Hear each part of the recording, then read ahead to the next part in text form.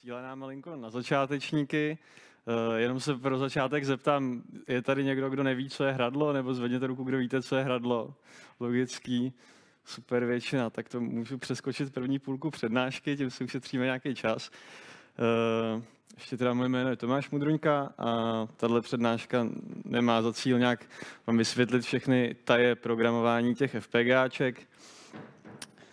Eh, v češtině se pod tím výrazem hradlo občas eh, rozumí i tyhle ty železniční nějaký te- technický prostory, tomu se věnovat nebudem. Hradlo jste říkali, že všichni znáte, akorát si řekneme, že má nějakou třeba schematickou značku a lze ho popsat pravdivostní tabulkou, nebo se implementuje takhle pomocí různých typů tranzistorů. Může to vypadat takhle, když je to na nějakém čipu. Ten čip má samozřejmě nějaký pinout, eh, s tím pak nějak pracujeme. Tady vlastně jediný rozdíl mezi tím eh, logickým hradlem jako takovým a tím čipem je, že ten čip pak má ještě napájení, se kterým třeba my, když navrhujeme logický obvod jako takový, tak nepočítáme. To je dobrý vědět. Tady jsou potom nějaké logické obvody, které stavíme z těch hradel, které už staví, eh, dělají nějakou konkrétní činnost řeší nějaký třeba problém, který, který chceme postihnout tím obvodem. Potom z těch radel můžeme stavět takovýhle třeba počítače nebo nějaký složitější obvody, to je realizace vlastně toho logického obvodu.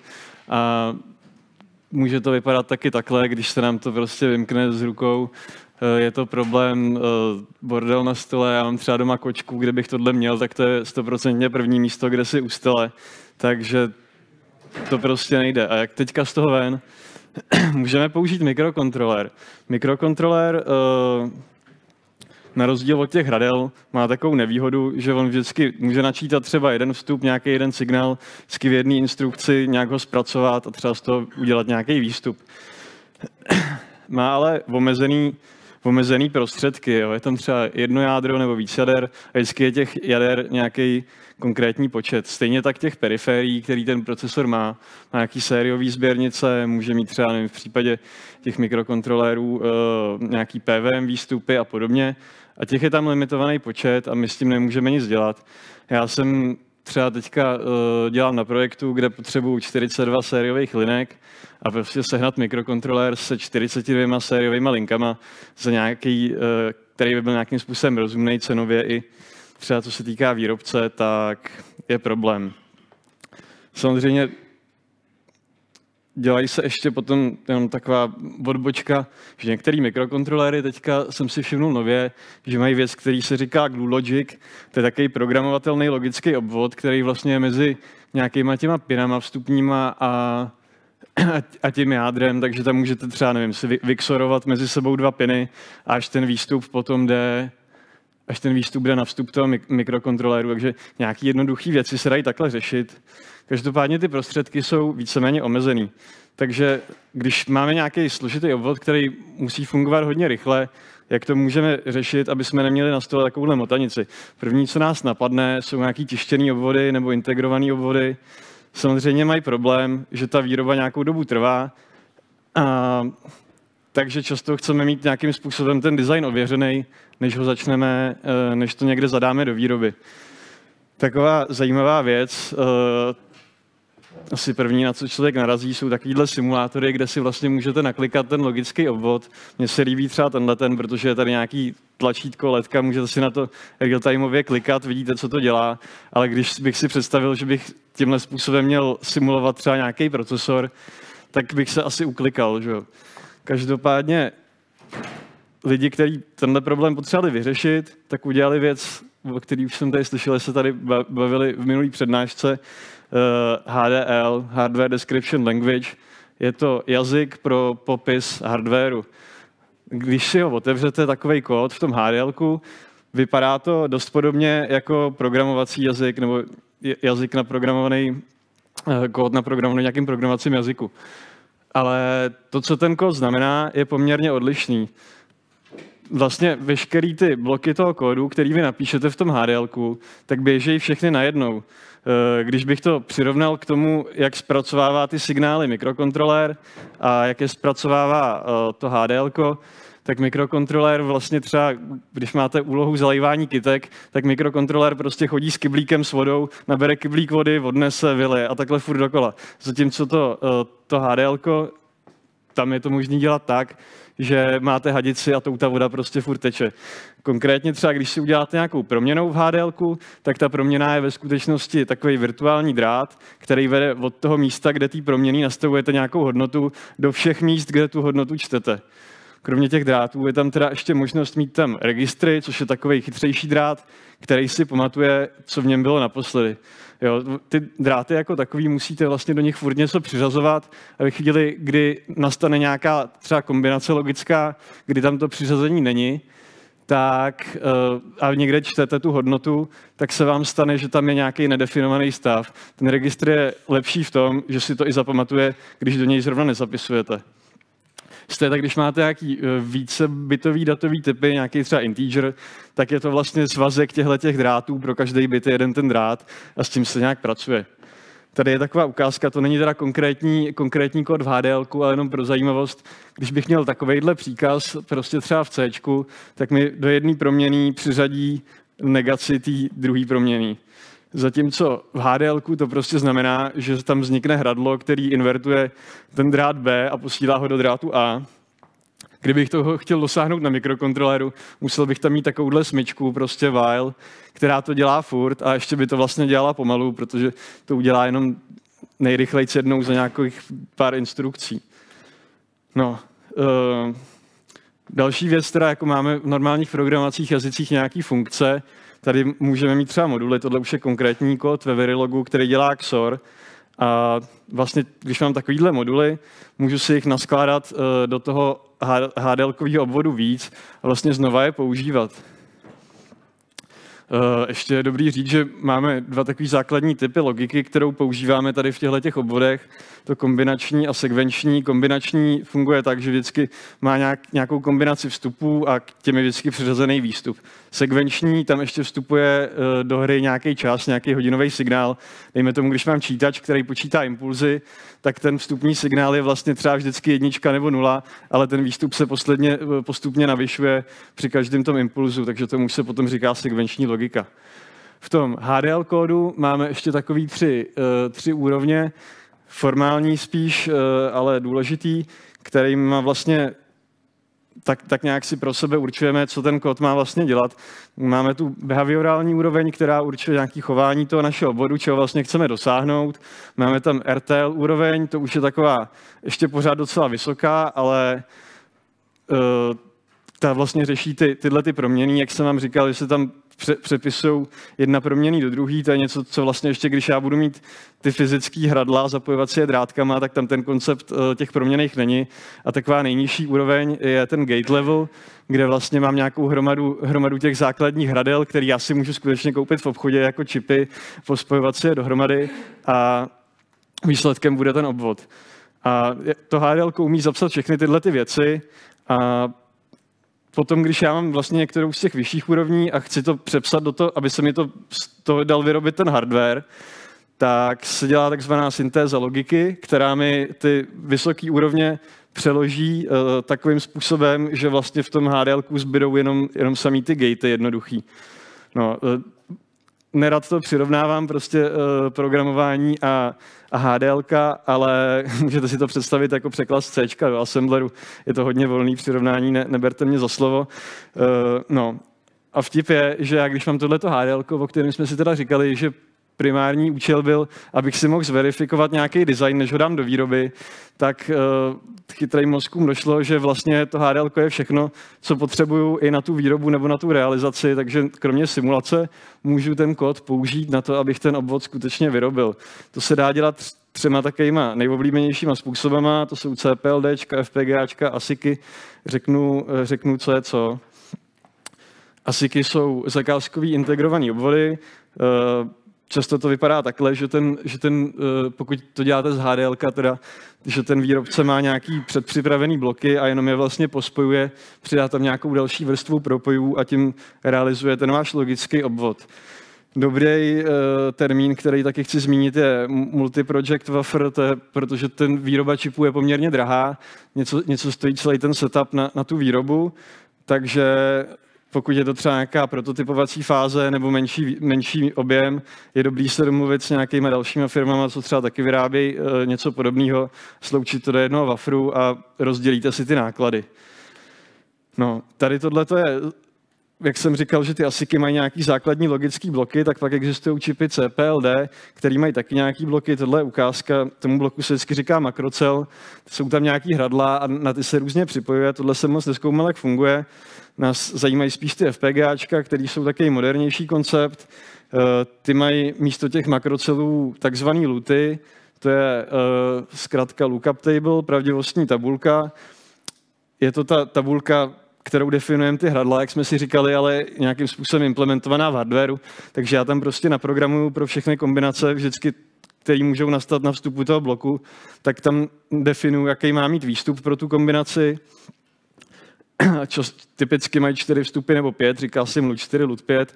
A kromě těch lutů jsou tam pak ještě teda, je, je tam nějaký matrix, který vám umožní dynamicky tyhle ty bloky pospojovat, abyste vlastně realizovali ten obvod z těch lutů a kromě toho tam jsou ještě nějaký hotové bloky, které můžou nahradit ty vaše obvody z těch lutů, protože třeba typicky tam bývají násobiče nebo nějaká ramka a to vám vlastně šetří luty. To, když použijete, tak to už jsou nějaký specifický obvody, který tam každý ten výrobce má jiný, to se liší, ale ten základ je stejný, že tam vždycky jsou nějaký ty luty, za kterých si můžete poskládat, co chcete. V tu chvíli, kdy máte takový kód, tak ho můžete docela snadno přenášet mezi výrobcema těch čipů. No, uh, další termín je IP cores, to je jako intellectual property to je vlastně nějaký ten hotový obvod, na který oni mají jako práva. Může to být buď ten blok, jak jsem říkal, který je tam předpřipravený v tom FPGAčku, anebo to může být nějaký HDL kód, který vy si od někoho koupíte na něj třeba licenci a můžete ho používat v tom svém obvodu. Softcore je nějaký mikroprocesor, který si koupíte nebo, nebo stáhnete teďka zadarmo na GitHubu, jich je hromada a můžete ho taky používat v tom FPGAčku. Taky nejoblíbenější je RISC-V, Te, teďka asi už jste o něm všichni slyšeli, uh, možná uh, má ambice nahradit ARM, a co, co mě na něm fakt zaujalo a překvapilo, když jsem se o tuhle problematiku začal uh, zajímat, že prostě vám stačí 500 těch lutů, jo, 500 těchto těch tabulek na to, aby vám tam běžel Linux, což mě přijde úplně šílený. A, ale je to tak. A samozřejmě to je úplně nejořezanější risk 5, jaký můžete mít. Pak když tam chcete nějaký další optimalizace a backdoory a, a tyhle ty věci, co mají normální velký procesory, tak těch lutů je potom víc. No a ten zbytek, co vám zbyde vlastně z těch po těch 500 lutech, nebo kolik jich použijete, tak můžete právě použít na ty periferie a implementovat si tam, implementovat si tam třeba ty PVMK nebo sériové linky nebo cokoliv vás napadne. Zajímavý je, že existují prostě softcory, které mají integraci s Arduinem, takže kdo, kdo třeba používáte Arduino, je poměrně oblíbený, tak dá se, dá se vlastně provozovat i na FPGAčkách. Zajímavý na tom je, že můžete pak dělat uh, můžete dělat OTA updaty třeba po Wi-Fi, že kromě toho, že updateujete firmware, tak vlastně updateujete i ten hardware, což mi přijde docela cool. Uh, No, nebo máte třeba prostě jeden gitový repozitář, kdy máte hardware i firmware dohromady, celý se to skompiluje a dá se to různě kombinovat. Samozřejmě říkal jsem, běží na tom Linux. Další jako zajímavá metoda, co mi přijde, že vy tam můžete mít v tom FPGAčku implementovanou nějakou ramku a v té už může být byl předloudnutý image ramky Linuxu, takže ve chvíli, kdy to FPGAčko dostane napájení, nějak se rychle nakonfiguruje a okamžitě máte běžící Linux, což vám ušetří prostě čas, pokud máte nějakou kritickou aplikaci, která musí mít vysokou dostupnost. No, potom, potom vlastně, co jsem říkal, že proběhne ta syntéza té logiky, že se z těch vysokourovňových konstrukcí udělají ty základní hradla, tak já je potřebuji nějakým způsobem namapovat na konkrétní čip, který má nějaké prostředky, má tam, má tam ty bloky, které já potřebuji využít. K tomu, k tomu se používá takzvaný program Place and Route nebo proces, který, který tohle to dělá. Tady je nějaký screenshot eh, z nějakého poměrně nového open sourceu, Často se to děje automaticky, eh, někdy to můžete ovlivnit. A když jsem si s tím hrál, tak jsem používal nějaký automatický PNR nástroj, který to udělal hned a nemusel jsem to vůbec řešit. A ten výsledek je bitstream, to je prostě, už je to zase z hlediska toho programování, představte jako binárku a to je nějaká konfigurace, prostě nějaký binární blob, který vy pušnete do toho FPGAčka. To se dá udělat třeba způsobama, Typicky jeden je, že k tomu FPGAčku máte připojenou externí flashku, ono si to po SPI samo načte, nakonfiguruje se to, boom, máte běžící hardware. Druhá možnost je, že naflashujete přímo do toho FPGAčka, to jde třeba jenom jednou, takže pokud už máte hotový produkt, už ho nevyvíjíte, můžete přímo do toho FPGAčka naflashovat jednorázově hotový hardware.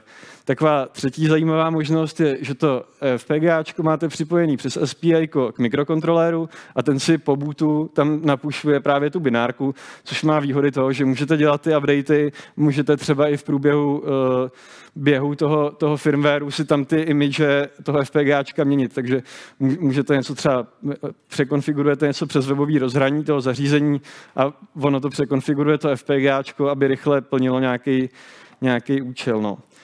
Teďka, jak to vypadá v praxi? Já říkám, že rok 2020 je rok FPGAček, protože ty projekty eh, hrozně, hrozně startují.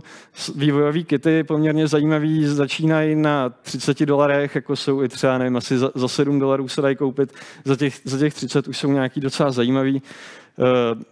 Dřív byl problém, že vlastně ty vývojové prostředí, co ten výrobce toho čipu dodával k těm FPGAčkům, měly prostě desítky gigabajtů. Mě to štvalo, zkusil jsem si to nainstalovat, řekl jsem si, hm, není to pro mě a te- teďka jsem zjistil, že vznikají vlastně nějaký open source projekty, kde lidi reverzují ty čipy, zkoušejí do nich posílat náhodné binárky a hledají, co se stane, nebo naopak reverzují ten výstup z těch oficiálních toolů.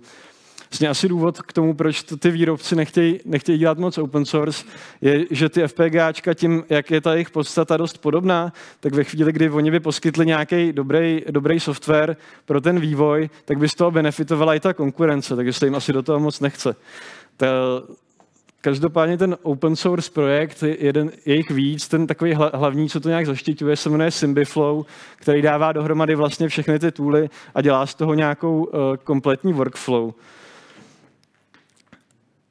Tak to, tohle je taková moje, moje nejoblíbenější asi deska na pokusy, co, co, jsem, co jsem našel, když jsem hledal, s čím bych chtěl začít experimentovat. Našel jsem tohleto na nejmenovaném čínském obchodě s poštovným zdarma. Uh, má 5000 lootů, takže teoreticky tam pustíte prostě 10 jader s Linuxem, prakticky asi ne, ale no, je tam, je tam nějaký, oscilátor, vlastně, který vy pak používáte v té, eh, můžete používat v té sekvenční logice k tomu, aby se to řídilo. Tohle je ještě no, novější deska, která nevím, jestli už je v prodeji, eh, asi už brzo bude, to má prostě 80 tisíc lutů, 200 MHz oscilátor a ta nejdražší verze má nějaký dva 5 gigabitový interfejsy, to mi taky, taky přijde docela zajímavý. No. Pak další projekt, co mě zaujal, je Open Course. Uh, tam jsou ke stažení právě ty, ty intelektuální vlastnictví, ty bloky toho hardwareu, který vy můžete používat. Doporučuji taky se podívat. No a tohle to už je iStudio. To je program, co mě nejvíc jako nezaujal, protože jsem ho otevřel, tam byla bílá obrazovka a není nic a pak jsem tam začal klikat takovýhle nějaký, uh, nějaký bloky a z toho stavět ty obvody. Tady třeba jako první věc, co vidíte, nějaký blikání ledkou, že tady, tady tohle je uh, vstup toho oscilátoru hlavního, ten se, ten se nějak uh, vydělí prostě děličem frekvence a jde do ledky, ještě je tady na to připojený připojený tlačítko přes nějaký end, nebo co to je, že to bliká, jenom když se drží tlačítko, jaký základní obvod, to nějaký generátor náhodných čísel. Uh, tohle to je, uh, jak vypadá instance, když si stáhnu z těch open course nějaký ten modul, tohle je konkrétně sériovka, já vlastně vůbec neumím programovat v těch HDLkách, ale vím, že když si stáhnu ten hotový blok, tak, tak si takhle nakonfiguruju nějaké vlastnosti jeho základní a tohle to už jsou definice těch pinů, tohle je vlastně výstupní pin toho bloku a tohle, to je, tohle je pin v tom mém kódu, na který, na který já ho přiřadím. To znamená, já si můžu takhle jakoby těma drátama popropojovat ty hotové bloky a nemusím až tak moc umět programovat. A co, co se mi teďka líbilo úplně nejvíc, já si můžu tuhle tu věc skopírovat, takže jak, jakýkoliv prostě VHDL kód, nebo teda, pardon, Verilog kód, který kdokoliv napíše, tak já můžu do toho iStudia si takhle nainkludovat, jenom si v tom bloku nadefinuju, jaký má, jak se jmenují ty, ty drátky a stavit si tady z toho nějaký, nějaký další obvody. Takže vlastně všechno, všechno, co neumím já udělat, naklikat, tak, tak si stáhnu nějakou takovouhle verilogovou knihovnu na to a zbyt, zbytek si jen tak prodrátkuju a je to poměrně minimální úsilí. Já jsem vlastně zjistil, že hrozně moc toho můžu takhle udělat, aniž bych se moc jako namočil do toho opravdového programování. Tady je vlastně to samý, je to nějaká prostě sériovka, která přijímá byte a pošle ho zpátky. Tady je to samý udělaný pomocí nějakých nativních bloků pro to iStudio kde vlastně se nepoužívá ten verilogový kód, ale, ale nějaký, uh, nějaký Španěl udělal hotový bloky, protože on to používá na výuku a je to super, vždycky každý ten blok se dá rozkliknout, ten je složený z dalších bloků a je tam, jsou tam komentáře ve španělštině. Do, doporučuji, doporučuji si to projít, on to používá asi jako prezentace. No, ta, tady je nějaký příklad, že já vlastně ten, ten byte, co mi přijde, tak kromě toho, že ho posílám ještě zpátky po sériovce, tak si ho tady teda ukládám do nějakého registru, když zmáčknu tlačítko, tak se jako pošle znova, zopakuje a ještě se tady posílá do tohohle toho labelu, na který já se tady můžu zase připojit.